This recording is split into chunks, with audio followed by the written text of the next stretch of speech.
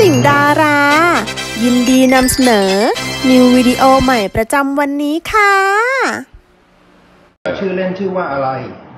โอ้ยอย่าเรียกเลย เดี๋ยวจะเล่าเรื่องชื่อเล่นให้หนูฟังไหมเอาป่ะผมเนี่ย พอมาเรียนวิไลครูนครสวรรค์ผมพวกเด็กวิไลครูนี่มันเด็กเรียบร้อยไงออกไปเที่ยวจะไปดูหนังจะไปอะไรไม่ได้เลย มันจะมี ชื่อไอ้เค เป็นจิโกเขาเรียกจิโกสะพานดำไอ้เคเนี่ยจิโกสะพานดำเลยเด็กวิไลครูออกไปจะโดนไล่ตีไล่ฟันไล่ยิงมา ไม่มีใครกล้าออกเพราะกลัวไอ้เคไงกลัวไอ้เคจิโกสะพานดำผมไม่รู้ว่าเป็นปู่เป็นย่าใครอะนะผมก็เลยไปแก้แค้นให้เด็กวิไลครู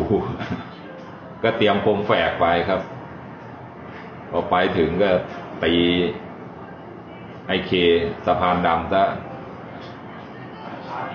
สลบไปตีทัดดอกไม้สลบเกือบตายครับ เกือบตาย หลังจากนั้นเขาก็เลยเรียกผมว่าโจ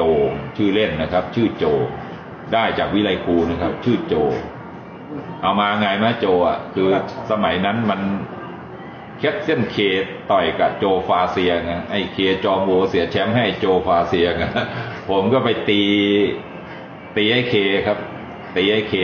สลบเลยไอ้เคก็เลยไม่กล้า ผมว่าเขาพิการมากกว่านะ เพราะว่าคมแฝกโดนทัดดอกไม้เนี่ยพิการแล้วก็เขาก็หายสาบสูญไปเลย แต่ไม่ตายนะครับ ไม่ตายนะ ตอนนี้มาเนี่ยนะครับท่านโจกับบิ๊กโจครับตอนนี้อะก็เขาก็เลยเรียกโจ เรียกไอ้โจ ไอ้โจมา ผมก็บอกเฮ้ยมึงตั้งชื่อกูเนี่ยเพื่อเพื่อนเพื่อนๆมันเรียกไอ้โจไงเพราะปราบไอ้เคได้นะผมก็บอกชื่อเหมือนหมาเลยนะ คือหมายความว่าพวกหมาฝรั่งเนี่ยเขาจะตั้งชื่ออย่างเงี้ยผมก็บอกมึงเอาชื่ออื่นไม่ได้หรือว่าทำไมชื่อโจนะแล้วผมเลยไม่ได้ใช้ชื่อเล่นผมเนี่ย เพราะว่าผมรับรายการเนี่ย พอเป็นเป็นไอ้นายตำรวจเป็นร้อยตำรวจเอกร้อยตำรวจเอก ซึ่งเงินเดือนถึงแล้วเป็นร้อยตำรวจเอกมาหลายปีแล้วก็มีผู้บังคับบัญชาผมเนี่ย ชื่อท่านพลตำรวจตรีพร้อมนิคมพักดีนะครับ ท่านเป็นผู้การกองบังคับการเขตหนึ่งกองบังคับการเขตหนึ่งนี่คือรับผิดชอบแปดจังหวัดสิบจังหวัด ตอนนี้คือกองบัญชาการตำรวจภูธรภาคหนึ่งเนี่ยสมัยก่อนนี่เป็นแค่กองบังคับการนะครับ มีพลตีเป็นพลตำรวจตรีเป็นหัวหน้า ตอนนี้มันเป็นกองบัญชาการมีพลตำรวจโทเป็นหัวหน้านะครับ ผมก็อาวุโสแล้วฝีมือเป็นหัวหน้าชุดขุนดง ที่ลบบุรี วิสามันคนร้าย จัดการคนร้ายโจร สมัยก่อนมันยังไม่มีค้ายาบ้า มันมีแต่พวกค้าเฮโรอีน ขายเฮโรอีนรายใหญ่ แล้วก็พวกเสือป้น เสือโคกสำโรงเสือชัยบาดาล เสือท่าหลวง เสือโคกสลุง เสือหนอโคกสลุง ท่านไปพิมพ์ใน Google ดูเถอะครับ มันจะเป็นโจรกันเนี่ยเป็นหมู่บ้านเลย จับคนไปเรียกค่าไถ่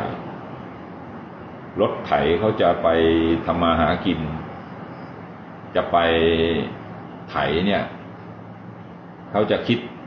ชาวไร่ ชั่วโมงหนึ่ง เช่น ชั่วโมงละสามร้อยบาท เขาต้องไปจ้างตำรวจอีกสองคน ให้ตำรวจอีกคนละสองร้อยรวมเป็นสี่ร้อย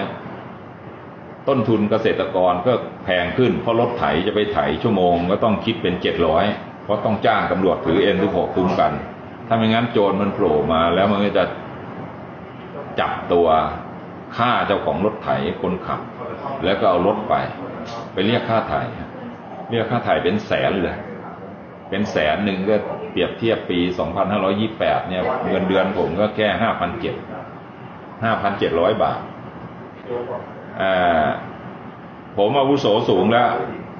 ทุกคนคาดการณ์ว่าเลวัตต้องได้เป็นสาวัตแน่ ๆ เลย ปรากฏท่านพร้อมเนี่ยท่านก็ไปขอกับผู้บัญชการ ว่าท่านขอสนับสนุนไอ้โจเนี่ย มันเป็นสาวัตสักคนหนึ่งผู้บัญชการจะใหญ่มากผู้บัญชการเนี่ยคุมคุมสามกองบัญชาการหนึ่งสองเจ็ดนะฮะ ท่านผู้จัดการถามบอกเอ้าแล้วคุณสนิทเขาบอกโอ้โหลูกศิษย์รักเลยฝีมือมันดีอะไรเนี่ยบอกชื่ออะไรแล้วท่านจำชื่อจริงผมไม่ได้ว่าชื่อเรวัตกิ่นเกสรท่านจำแต่ชื่อไอ้โจไอ้โจอย่างเงี้ยนะครับ ก็เลยเสร็จเลยครับ ไปได้โจไหนก็ไม่รู้ครับ ไม่ใช่โจเรวัตนะ